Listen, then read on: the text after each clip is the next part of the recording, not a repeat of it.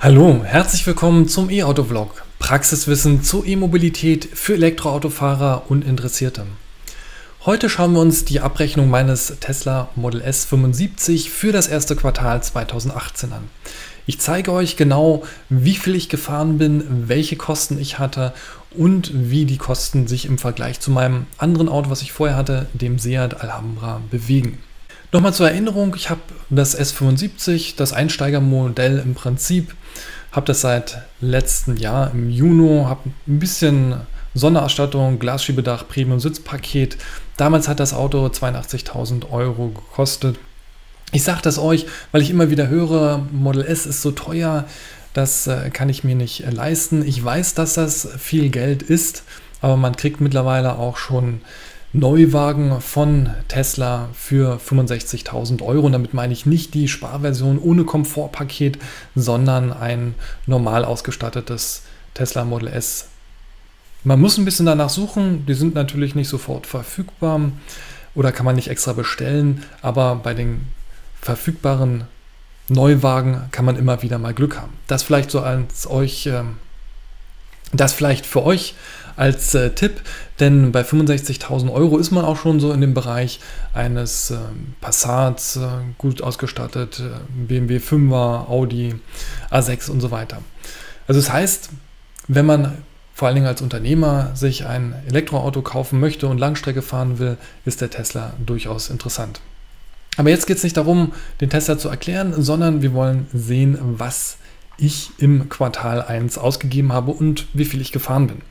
Schauen wir uns den ersten Monat an, und zwar der Januar. Dort bin ich im Prinzip nur eine einzige Langstrecke gefahren.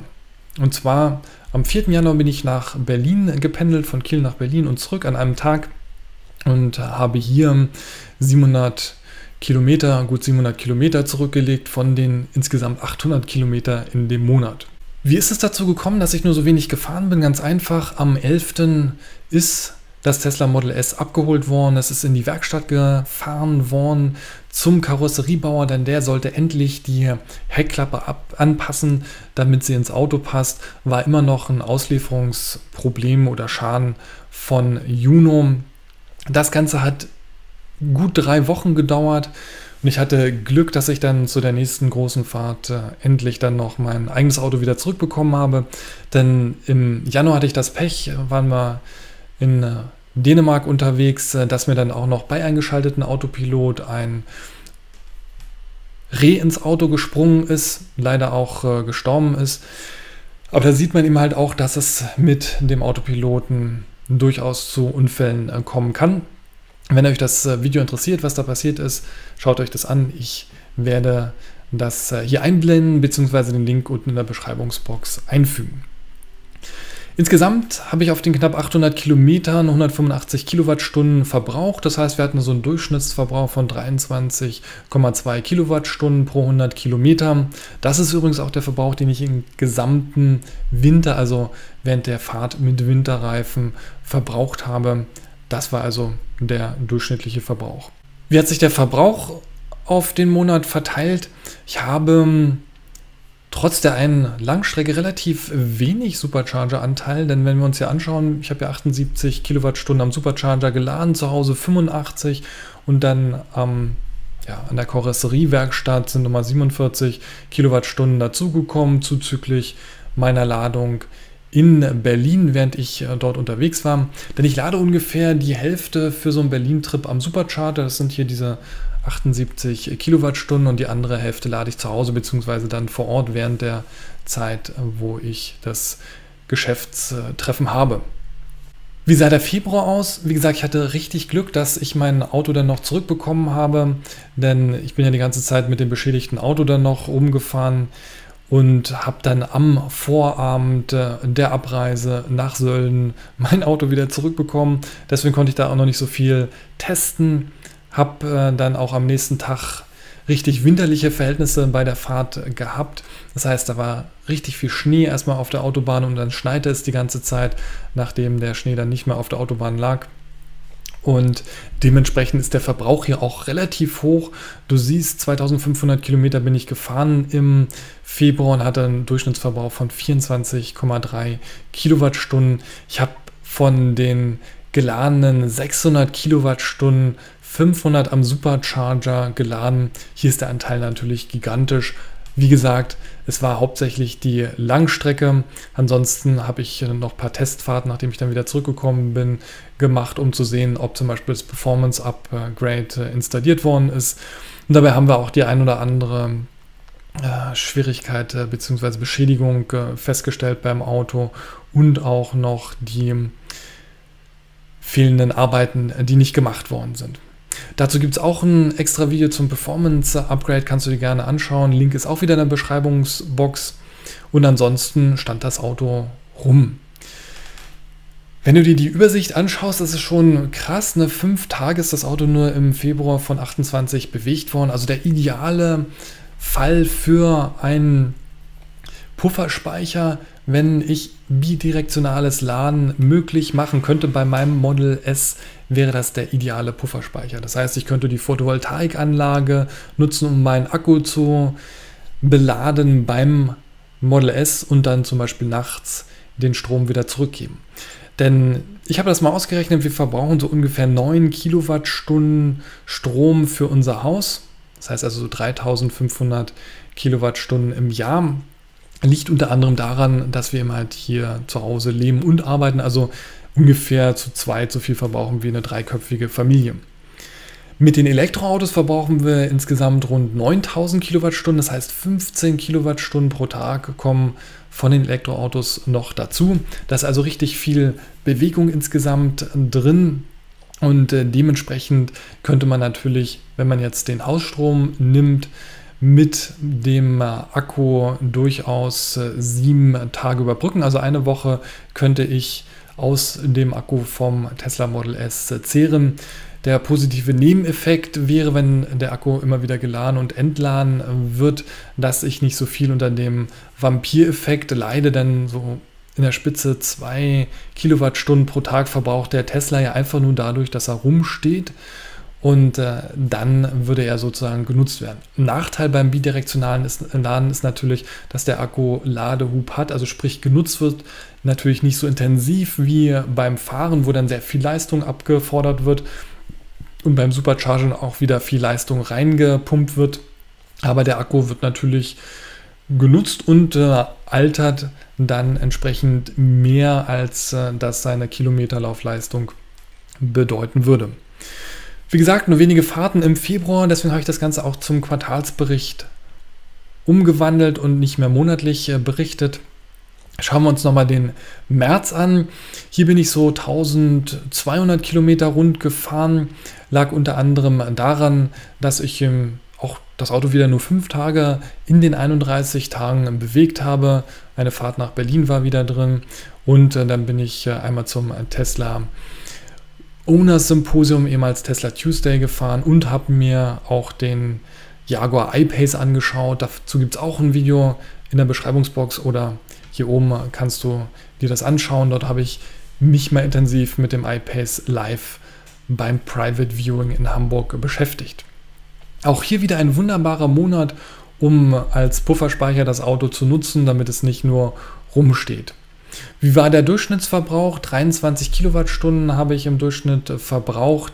Der Supercharger-Anteil war eher gering, also besonders im Vergleich zum März. Ich habe 128 Kilowattstunden am Supercharger geladen und äh, zu Hause waren es äh, fast äh, 200 Kilowattstunden und nee, 137 Kilowattstunden und unterwegs dann 54 Kilowattstunden. Hier habe ich mich natürlich sehr gefreut, da konnte ich endlich mal den abgegradeten Wechselstromlader nutzen, denn mein Model S gehörte zu der Generation, wo die Standardausführung 11 kW Ladeleistung waren, obwohl von der Hardware 16,5 zur Verfügung stehen. Bei der Reparatur ist das äh, geupgradet äh, worden, sodass ich eben halt jetzt deutlich mehr laden kann, nämlich 16,5. Das hört sich erstmal nicht so viel an, ist aber für mich entscheidend, denn es bedeutet, wenn ich zum Beispiel zwei Stunden den Geschäftstermin in Berlin habe, konnte ich vorher nur 22 Kilowattstunden laden. Du siehst am Durchschnittsverbrauch, das reicht im Winter noch nicht mal für 100 Kilometer. Im Sommer komme ich damit gut 100 Kilometer weit. Kann ich jetzt aber 33 Kilowattstunden laden, dann komme ich eben 150 bzw. sogar 180 Kilometer weit. Warum ist das für mich relevant? Ganz einfach, auf meiner Strecke zwischen Kiel und Berlin gibt es zwei Supercharger. Von Berlin aus gesehen ist der erste Supercharger nach 104 Kilometer in Herzsprung und der zweite in Wittenburg, das sind so rund 200 Kilometer. Kann ich also während meiner Geschäftstermine den Akku wieder so voll machen, dass ich zum Supercharger nach Wittenburg komme, dann komme ich natürlich schneller durch, weil ich einmal mir die Ladezeit bzw. die Anfahrt zum Laden spare. Deswegen bin ich immer daran interessiert, in Berlin so viel zu laden, dass ich dann eben halt nach Wittenburg äh, wieder zurückkomme und da lade ich dann so viel, dass ich nach Hause komme. Und insofern lade ich ungefähr die Hälfte auf der Strecke am Supercharger und äh, die andere Hälfte dann unterwegs oder in Berlin. Gucken wir uns mal die Zahlen fürs Quartal an. Insgesamt habe ich mehr als 1 Megawatt Energie mit meinen Fahrten mit dem Tesla Model S verbraucht, also 1105,9 Kilowattstunden. Ich bin damit 4428,3 Kilometer gefahren und habe somit einen Durchschnittsverbrauch von 23,8 Kilowattstunden pro 100 Kilometer. Das ist relativ viel, aber du hattest ja in der Monatsabrechnung auch gesehen, dass die Fahrt nach Sölden mit dem hohen Verbrauch durch die Witterungsverhältnisse, Kälte, Schnee, nasse Fahrbahn oder auch Schnee auf der Autobahn hat natürlich zu einem hohen Verbrauch geführt. Und da das 2500 Kilometer in der 4400 waren, kommt das natürlich dann auch zum Tragen.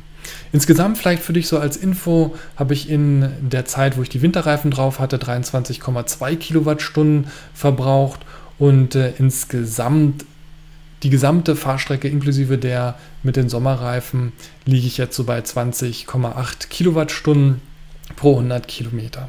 Der Supercharger-Anteil von den 1105,9 Kilowattstunden waren 707,6. Das sind 64 Prozent. Ist also relativ hoch. Wie gesagt, ich habe kein typisches Fahrprofil.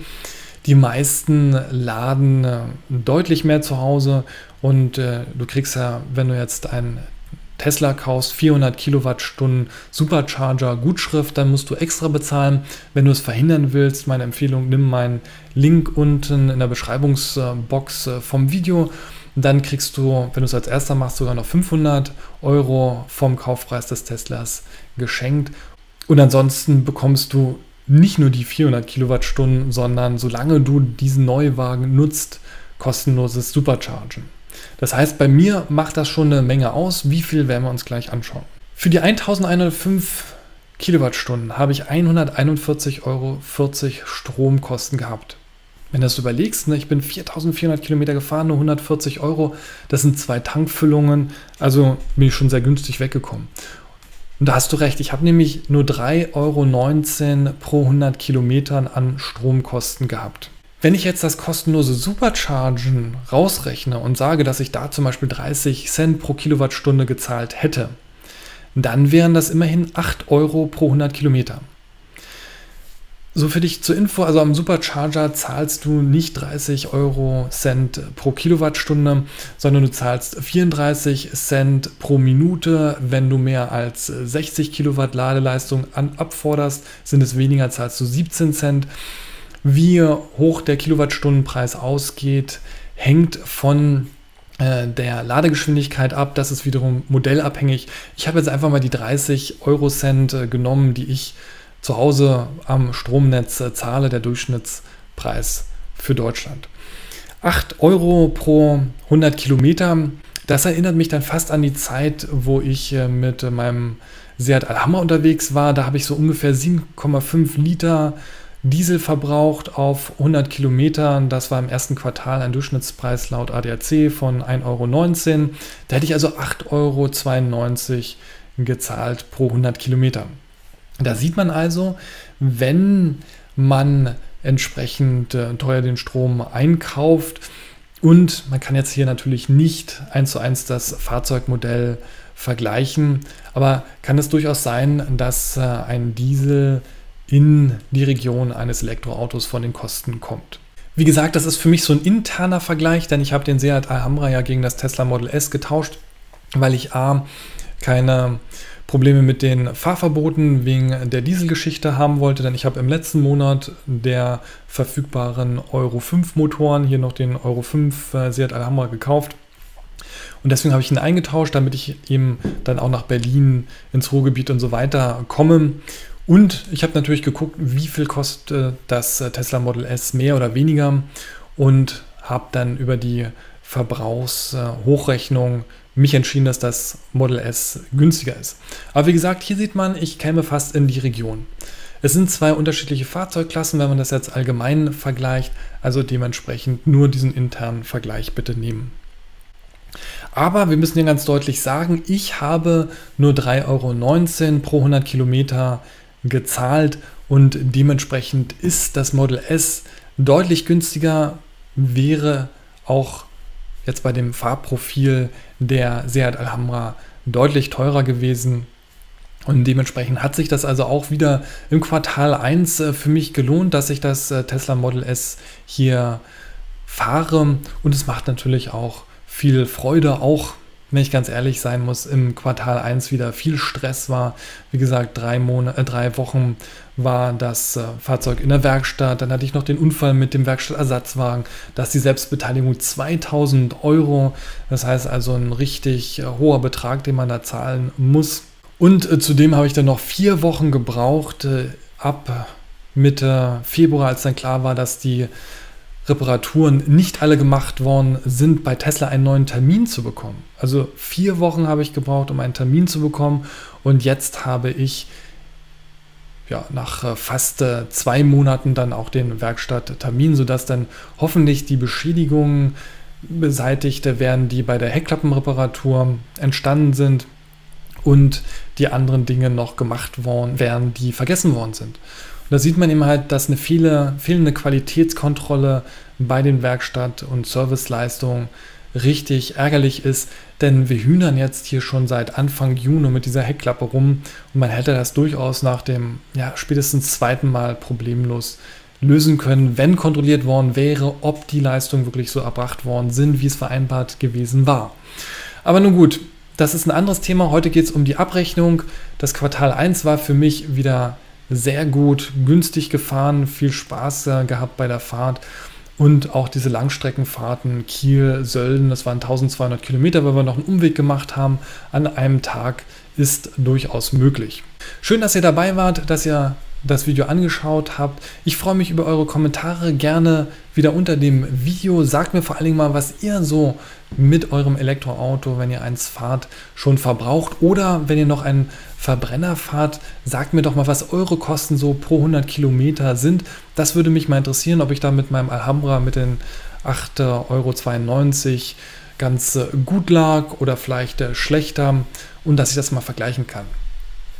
Ja, falls ihr noch nicht die Glocke geläutet habt, also sprich die Benachrichtigung eingestellt habt, dass ihr, wenn ich ein neues Video poste, informiert werdet, dann macht das bitte. Könnt ihr hier über die Glocke einstellen. Oder wenn ihr noch nicht abonniert habt, dann drückt doch einfach auf dieses E-Auto-Symbol mit dem Point of Interest. Dann werdet ihr darüber informiert, wenn ich neue Videos mache. Schön, dass ihr dabei wart. Wir sehen uns im nächsten Video. Und wenn ihr die Glocke geläutet habt, wisst ihr, wann es kommt. Also bis bald, euer Dirk Henningsen.